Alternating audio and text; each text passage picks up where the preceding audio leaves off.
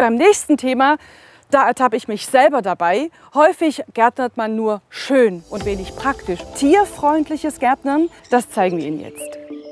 Gefahrenquelle Nummer 1, Netze. Wenn die Stare in die Kirschen einfallen, wehren wir uns natürlich und das Einfachste sind Netze. Damit sie die Sicht nicht stören, nutzen Gärtner am liebsten grüne Netze, aber die übersehen auch viele Vögel und so geschehen immer wieder vermeidbare Unfälle.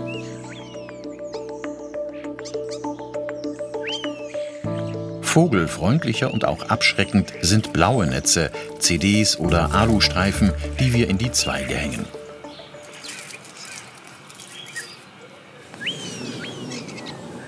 Gefahrenquelle Nummer 2 Rasenroboter. Die leisen Mäher erleichtern uns die Arbeit enorm, aber für alle, die im Gras leben, sind sie lebensgefährlich. Blindschleichen geraten immer wieder in das Mähwerk und auch Zauneidechsen und Igel werden oft von den Robotern überrascht. Helfen kann es, die Rasenfläche vorher abzugehen und vor allen Dingen nicht nachts zu mähen, wenn die meisten Tiere unterwegs sind. Gefahrenquelle Nummer 3. Lichtschächte. Manche Tiere wandern, wie die Kröten, hin zum Wasser und wieder zurück. Dabei fallen immer wieder einige in Lichtschächte. Allein kommen sie dort nicht mehr heraus. Helfen können wir ihnen mit einer Froschleiter, auf der sie ihr Gefängnis verlassen und zurück ans Tageslicht klettern können. Die Leiter sieht zwar nicht sehr naturnah aus, aber der Kröte jedenfalls scheint das egal zu sein. Schritt für Schritt, Zentimeter um Zentimeter arbeitet sie sich nach oben. Es ist mühsam, aber der einzige Weg hinaus zu den saftigen Regenwürmern und den leckeren Asseln im Garten.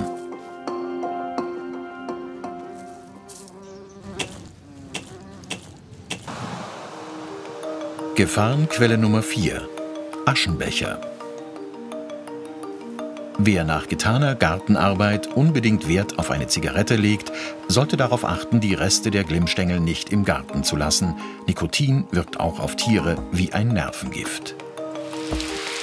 Wird es ausgewaschen, sammelt es sich in der Nahrungskette an und vergiftet langsam unsere Gärten und ihre kleinen und großen Bewohner. Deshalb den Aschenbecher immer in die Aschetonne entleeren. Und schließlich Gefahrenquelle Nummer 5, die Regentonne. Je trockener die Sommer, desto dringender brauchen auch die Tiere im Garten Wasser. Einige wollen nur baden, aber die meisten haben einfach großen Durst. Jungvögel und Eichhörnchenkinder riskieren viel bei der Suche nach Wasser und fallen dabei oft in die Regentonne. Um die Tiere gar nicht erst zu waghalsigen Manövern zu verleiten, sollten wir die Tonne immer mit einem Deckel sichern.